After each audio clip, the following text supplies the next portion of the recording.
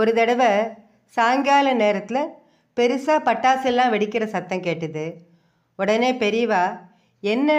பட்டாசு சத்தம்லாம் பலமாக கேட்கறது எங்கே பட்டாசு வெடித்து கொண்டாடுறா? எந்த கோவில்லேருந்து ஊர்வலம் கிளம்புறதுன்னு விசாரித்தார் காஞ்சி காமாட்சி அம்மன் திருவீதி உலா முடிஞ்சு திரும்பி வந்துட்டுருக்கா அதை தான் பட்டாசு வெடித்து கொண்டாடி சம்பிரதாயமாக நடத்தின்னு இருக்கான்னு அணுக்க தொண்டர்கள் விசாரித்து தெரிஞ்சின்ற செய்தியை பெரியவா கிட்ட சொன்னான் அதை கேட்டதும் பெரியவாளுக்கு இருப்பே கொள்ளலை. அம்பாள் காமாட்சியை எப்படியாவது தரிசனம் பண்ணணுங்கிற ஆசை அவருக்கு வந்துடுத்து.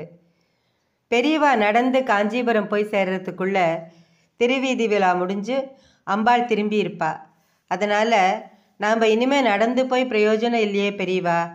அப்படின்னு எல்லாரும் சொன்னதை கேட்கறதுக்கு அவருக்கு ரொம்ப கஷ்டமாக இருந்தது. அன்றைக்கி எப்படியாவது அம்பாள் காமாட்சியை தரிசனம் பண்ணிடுறதுன்னு தீர்மானமாக இருந்தா பெரியவா. காஞ்சிபுரம் போய் சேர்றதுக்குள்ள ஊர்வலம் முடிஞ்சிடுங்கிறத அவர் பொருட்படுத்தவே இல்லை. ரொம்பவும் பிடிவாதமாக இருந்தார். மடத்து சிஷ்யர்கள் எத்தனை சொல்லியும் அவர் கேட்குற மாதிரி இல்லை. போய் தான் தீருவேன்னு நிச்சயம் பண்ணிட்ட மாதிரி இருந்தது. பெரியவா வெளியில் வந்து நின்ன உடனே கிளம்பிடலை. விநாயகர் சந்நிதிக்கு போனார். அவர் பிள்ளையாரோட காது கிட்ட போய் என்னமோ ரகசியம் பேசுகிற மாதிரி இருந்தது. புறப்படுறதுக்கு முன்னாடி கணேசர்கிட்ட பிரார்த்தனை பண்ணிக்கிறாருன்னு எல்லாரும் நினச்சா. அதுக்கப்புறம் மளமளன்னு காஞ்சியை நோக்கி நடக்க ஆரம்பிச்சிட்டார்.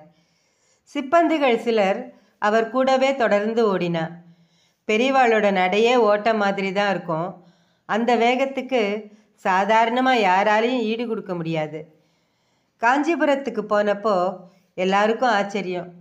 அம்பாள் காமாட்சி இருந்த இடத்த விட்டு அசையாமல் இன்னும் உண்மையை சொல்லணும்னா ஒரு அங்குலம் கூட நகராமல் அப்படியே அங்கேயே இருந்தா.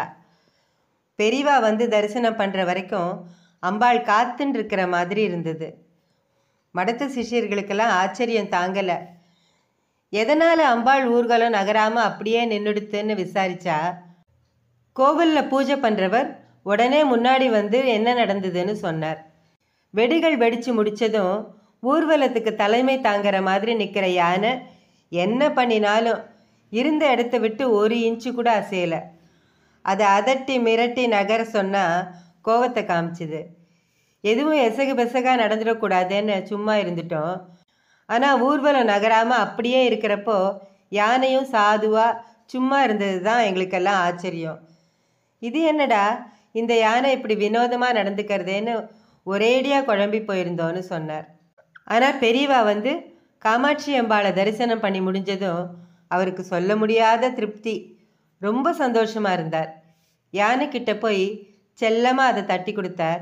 உடனே யானை ஏதோ அவரோட உத்தரவுக்கு காத்துட்டு இருந்த மாதிரி மேலே நடக்க ஆரம்பிச்சுது. தேனம்பாக்கத்தில் புறப்படுறப்போ விநாயகர் காதில் பெரியவா என்னமோ சொன்னாரே அதோட அர்த்தம் இப்போ தான் புரிஞ்சுது. அன்னைக்கு பெரியவா அடைஞ்ச சந்தோஷத்தை விட அணுக்க தொண்டர்களுக்கு கிடைச்ச திருப்தியும் பாக்கியமும் இருக்கே.